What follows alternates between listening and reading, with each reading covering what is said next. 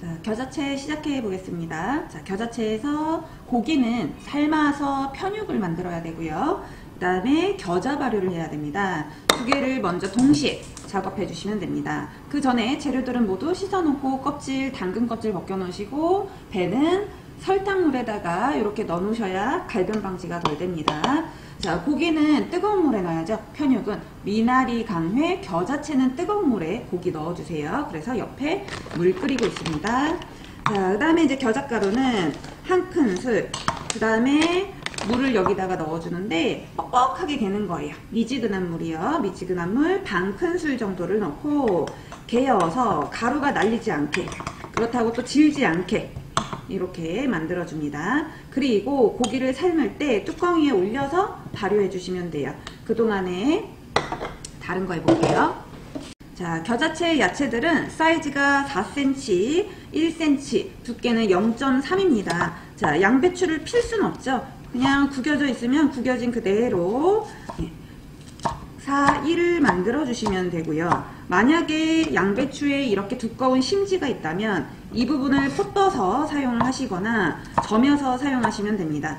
자, 양배추 많이 나왔다고 너무 많이 버리지 마시고 거의 전량을 다 쓰시도록 합니다. 자, 넉넉하게 넣어주세요. 자, 양배추 심지 두꺼운 거 나오면 이렇게 포떠서 굵지 않게 사용하시고 또 4cm 그 다음에 1cm 두께는 0.3을 맞출 수는 없으니까 4, 1 정도만 맞춰주시면 돼요.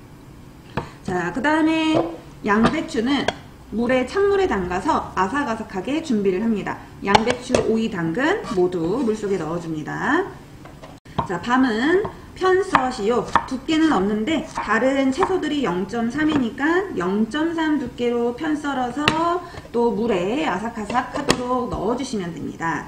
자, 당근도 4cm 만들어 주시고 그 다음에 1cm 그리고 두께 0.3이 되도록 잘라줍니다. 자 이렇게 해서 모든 야채들이 사이즈가 똑같게 해주셔야 돼요. 당근도 역시 마찬가지로 물에 넣어 놓습니다. 자 이제 물이 끓으니까 고기를 익혀보도록 할게요. 약간의 소금을 넣어주시고 그 다음에 고기는 완성이 4가 나와야 되는데 줄어들기 때문에 5나 6 정도 그대로 일단 핏물만 제거하고 사용하시면 되고요. 끓는 물에 넣어주시는데 10분 정도 끓일 거예요. 그래서 물이 고기 위로 충분히 올라올 수 있도록 이렇게 끓여주시고 그 다음에 넣고 나서 잠시 뚜껑을 이렇게 열어두세요. 그리고 고기 색이 겉면이 변화하면 중간 불로 줄이면서 뚜껑을 닫아 푹 익혀줍니다. 그 다음에 이때 뭐 하냐면 겨자 개어놨었죠 미지근한 물에 이렇게 엎어서 발효를 해주시면 됩니다. 자 이렇게 하는 10분 동안 나머지 채소를 썰어주시면 돼요. 자 오이는 여러 가지 방법들이 많은데요. 일단 시험 볼 땐 4, 1cm가 되어 있잖아요. 그래서 4cm 먼저 맞추고 우리가 흔히 알고 있는 이렇게 돌려깎기 방법을 이용하셔도 되고요. 자, 그런 다음에 1cm씩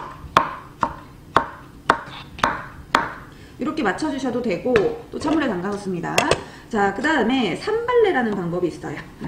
자, 4cm 맞추고 삼각형으로 오이를 자르는 겁니다. 한 1cm 정도 되게 잘라주시고 자, 이렇게 잘랐죠? 그리고 또 1cm 되게 잘랐어요. 자, 또 껍질 쪽을 보시면 돼요. 여기 높이가 1cm 되게 잘랐습니다. 그래서 이렇게 3개로 바른 후에 이거를 0.3을 자르는 거죠. 끄트머리는 약간 넓게 잘라서 하얀 부분을 떠서 넣어주시면 마치 돌려깎기 한 것처럼 색깔이 이쁘게 나오고요. 그 다음에 나머지는 0.3으로 그냥 이렇게 음, 편 썰어줍니다.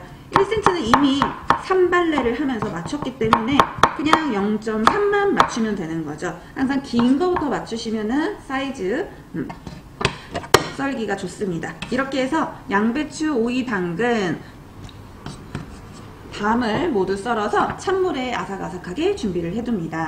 자, 그 다음 배입니다.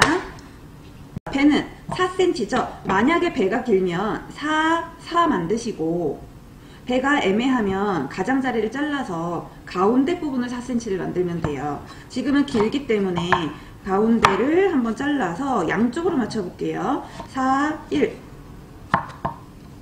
그 다음에 편 썰어서 자 이런 식으로 4, 1, 0.3 지금 버무릴 게 아니라면 다시 설탕물 또는 산소 차단만으로도 갈변 방지는 되기 때문에 같이 물에 넣어 놓으셔도 돼요. 자, 15분 정리하고 4cm 맞추고 그 다음에 1, 4, 1 맞추고 그 다음에 0.3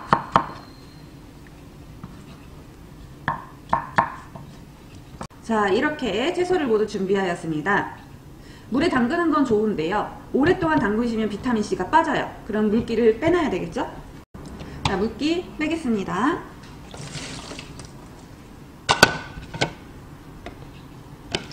그래서 100까지 모두 물기를 뺐는데 이렇게만으로는 물이 충분하게 빠지지 않기 때문에 면보에 한번 감싸서 면보에 한번 감싸서 이렇게 물기를 조금 빼놓으시면 더 좋겠습니다. 자, 겨자가 이렇게 바람으로 냄새를 한번 맡아보시면 매운 냄새가 납니다. 자, 그러면은 10분 정도 발효가 되면은 매운 냄새가 나요. 그럼 설탕 하나, 식초 두 번, 그 다음에 소금 두 손가락으로 조금, 맛의 대비 효과죠? 간장 몇 방울만, 색깔만 조금 넣어주세요. 그래서 설탕, 식초, 소금, 간장 섞어서 약간 뜨거울 때 네, 섞어 놓으셔야지 이게 딱딱해지지 않아요. 미리 섞어 놓으시고 그 다음에 이따가 버무리도록 합니다. 자 고기도 역시 마찬가지로 10분 정도 삶으면 이렇게 찔렀을 때 피가 나오지 않습니다. 피가 나오지 않을 때까지 삶아주시고 고기는 식은 후에 썰기 때문에 면보나 키친타올로 이렇게 감싸 놓고 그 다음에 나중에 썰어주도록 합니다. 자, 지단 해보겠습니다. 계란은 노른자, 흰자 양쪽으로 분리해 주시고 혹시 분리하시다가 노른자가 터질 것 같다 그러면은 그냥 다 부으시고요. 수저로 이렇게 건져 주셔도 돼요. 저는 왔다 갔다 하면서 알끈을 빼기도 하는데 알끈이 안 빠지면 나중에 이렇게 젓가락이나 수저 이용해서 알끈 빼줍니다. 그 다음 약간의 소금 항상 100% 넣어주시면 돼요. 어느 지단에서든. 그 다음에 지글재그로 젓가락 이용하셔도 당연히 되겠죠? 젓가락으로 아니면 수저로 지그재그로 섞어서 큰 덩어리를 풀어주시는 거예요. 이큰 덩어리를. 그 다음에 체에 내리셔도 돼요. 혹시나 잘 안 풀린다면 항상. 자, 그 다음에 이제 이렇게 섞었는데 기포가 많이 생기면 이거를 기울여서 수저로 한번 이렇게 제거하시면 훨씬 쉬워요. 음. 이 기포를 제거 안 하면 지단이 깔끔하게 나오지 않습니다. 자, 그 다음에 노른자. 노른자는 기포가 잘 안 생겨요. 예, 생겨도 이렇게 톡톡톡 내려쳐 주시면 돼요. 채로 내려도 좋은데 시간이 오래 걸리잖아요. 그래서 지그재그로만 섞어도 충분합니다. 자, 지단입니다. 불은 약하게 해주시고 프라이팬을 달궈주세요. 달구신 다음에 식용유를 넣고 또 식용유를 달궈줍니다. 바로 닦지 말고 기름을 한번 이렇게 코팅을 시키고 닦아주시면 되고요. 이 기름이 너무 많은 경우에 지단이 깔끔하게 나오지 않습니다. 그래서 기름은 약간만 촉촉하게만 코팅을 해주시고 이러는 중간에 불이 세다면 불을 꺼주셔야 됩니다. 자 온도가 높다면 이렇게 불을 줄여주시고 그 다음에 흰자부터 하든 노른자부터 하든 크게 상관없습니다. 네. 근데 이제 보통 시간이 없기 때문에 한쪽에 흰자 하면서 동시에 노른자도 같이 해주시면 되고요. 흰자가 있는 시간이 조금 더 걸리기 때문에 흰자를 먼저 넣고 노른자를 넣고 노른자를 뒤집고 그 다음 흰자를 뒤집으면 시간이 딱 맞습니다. 그리고 온도 체크할 때 이렇게 손을 올려보셔도 좋고 그 다음에 또는 조금만요 이렇게 갖고 와봐요. 갖고 왔는데 지글지글 끓는다. 네, 그러면 이제 온도가 높은 거죠. 그렇다면 조금 식혀서 하도록 합니다. 들어갈 때 이렇게 칙 소리가 안 나면서 색깔이 하얗게 변하는 정도가 좋고요. 제가 잠시 불을 꺼놨다가 다시 불을 켰습니다. 자, 그리고 이제 계란을 손잡이를 이용해서 펼쳐주시거나 수저를 이용해서 펼쳐주세요. 자, 중간에 부풀어 오르는 데가 있다면 불이 세다는 증거입니다. 약불로 해도 오랫동안 달구면 세요. 그럼 잠깐만 불을 끄고 남은 열로 해주시면 되고요. 노른자는 양도 적고 금세 있고 뻑뻑하기 때문에 수저로 얼른 긁어서 펼쳐주세요. 자, 그 다음에 양이 항상 비슷하게 나와야 되기 때문에 흰자만큼 넓게 펼쳐줍니다. 제가 지금 사용하는 후라이팬 사이즈는 26cm입니다. 자, 사이즈는 크게 상관없어요. 팬 사이즈는. 자, 다시 약불로 켜고요. 온도 조절 잘 해주셔야 돼요. 후라이팬 들었다, 놨다. 음. 자, 빨리 뒤집으면 흰자 찢어집니다. 기다리셔야 돼요. 음. 팬이 크다면 오른쪽, 왼쪽, 위아래 이렇게 왔다 갔다 하면서 후라이팬에 골고루 열이 닿을 수 있도록 움직여 주시고요. 자, 노른자 먼저 뒤집어 보도록 할게요. 자, 노른자 색깔 변했고요. 익은 데부터 잡고 가운데 살짝 걸터서 뒤집도록 하겠습니다. 자, 흰자는 지금 이쪽이 조금 덜 익었습니다. 여기는 이렇게 말려 올라오는 데가 있는데요. 여기는 아직 조금 더 말랑말랑해 보여요. 남은 열로 조금 더 익혀볼게요. 자 이제 흰자 뒤집겠습니다. 그 다음에 이렇게 하다가 뜨겁거나 찢어질 것 같으면 그냥 내려놓으세요. 그리고 반대편에서 다시 한번 체크해 보세요. 그래서 양쪽을 다 떨어뜨린 후에 뒤집어 주시면 훨씬 안전하죠. 얇은데 잡고 살짝 빨래 널듯이 걸치고 그 다음에 뒤집어서 반대편 익혀주고 혹시나 구부러지거나 마음에 안 들 때는 이렇게 키친타올로 한번 눌러주셔도 되고요. 자, 약불. 자 그리고 지단은 식은 다음에 썰어줍니다. 그래서 옆에다가 두시고요. 다른 거 볶을 거 있다면 볶는 거 끝나고 그때 지단 썰어주시면 되겠습니다. 앞뒤로 색깔 확인하시고 음, 투명한 데 없이 잘 나왔어요. 자 갈색 안 나죠? 계속 프라이팬에 있어도 약불 껐다 약불 껐다 이렇게 불 조절 해줍니다. 자 이제 고기 한번 썰어 볼게요. 식은 고기는 4cm 맞추고 자 겨자채 사이즈죠. 그 다음에 1cm 여기 1cm 나오네요. 그럼 그대로 사용하고요. 만약 1cm가 안 나오면 다시 편을 썰어 줍니다. 자 그 다음에 이제 두께 0.3이 되게 편을 썰어 주시면 돼요. 슬근슬근 비벼서 써시면 훨씬 더 잘 썰릴 거예요. 자 그리고 물기 뺀 채소와 함께 버무리겠습니다